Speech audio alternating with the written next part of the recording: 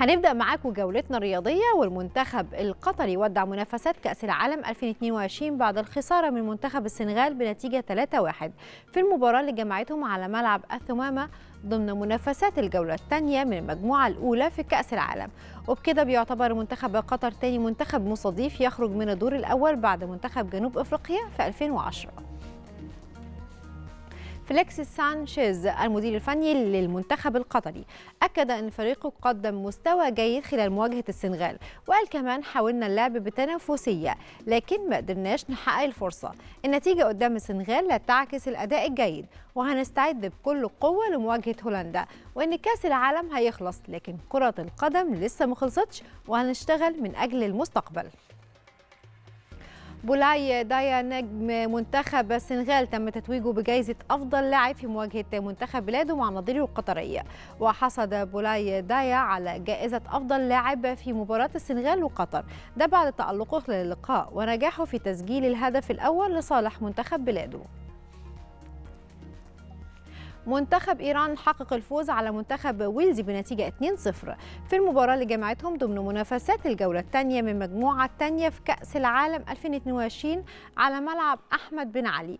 وشهدت المباراة حصول وين هنيسي حارس مرمى منتخب ويلز على البطاقة الحمراء الأولى في كأس العالم 2022 ده بعد التدخل العنيف على مهاجم المنتخب الإيراني. كارلوس كيروش المدير الفني لمنتخب إيران أكد إنه ما غيرش أي حاجة في خطته مع المنتخب الإيراني خلال مواجهة ويلز خصوصا بعد الهزيمة في الجولة الأولى من المنتخب الإنجليزي. وقال كيروش لعبنا بشكل ممتاز والفوز كان حق من حقنا واللعيبة في بداية دخولهم أرض الملعب وهم مش خايفين من أي حاجة. التعادل السلبي حسم نتيجة مباراة منتخب إنجلترا ضد منتخب الولايات المتحدة الأمريكية بنتيجة 0-0 في المباراة اللي جمعتهم على ملعب البيت. وده كان ضمن منافسات الجولة الثانية من المجموعة الثانية في مرحلة مجموعات بطولة كأس العالم 2022 بالنتيجة دي بيواصل المنتخب الإنجليزي التربع على صدارة المجموعة برصيد أربع نقاط والمنتخب الأمريكي في المركز الثالث برصيد نقطتين وإيران في المركز الثاني برصيد ثلاث نقاط ومنتخب ويلز في آخر المجموعة برصيد نقطة واحدة.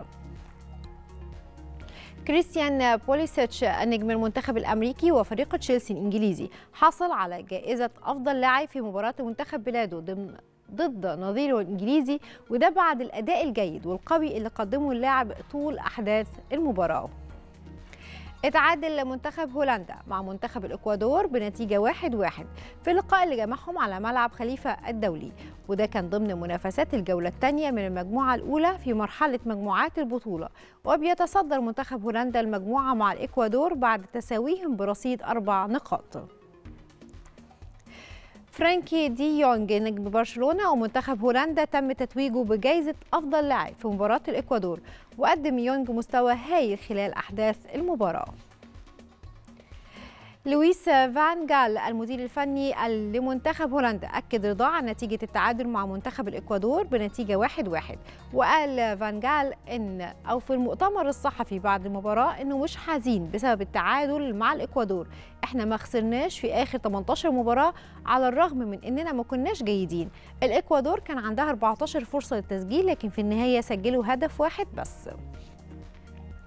هيرفي رينارد المدير الفني للمنتخب السعودي. أكد صعوبة مواجهة المنتخب البولندي واللي هتتلعب النهارده ضمن منافسات الجولة الثانية من دور المجموعات بكأس العالم قطر 2022 وقال رينارد المباراة مهمة جدا وصعبة ضد منتخب قوي جدا.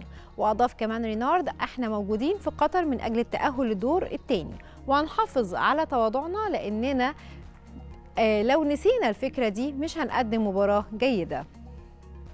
جلال القادري المدير الفني للمنتخب التونسي أكد أنه بيسعى لتحقيق الفوز على المنتخب الأسترالي في كأس العالم من أجل مواصلة السير نحو تحقيق حلم الجماهير التونسية في مونديال قطر 2022 وقال القادري في المؤتمر الصحفي الخاص بالمباراة أن مباراة أستراليا متوازنة ومتكافئة. لازم نكون حذرين في كل مباراة وإن شاء الله التوفيق يكون في صفنا. وبكده خلصت جولتنا الرياضية ومتابعتنا لكأس العالم في قطر 2022 هنرجع مرة تانية لأحمد وبسنت علشان نكمل معكم في قناة صباح الخير يا مصر.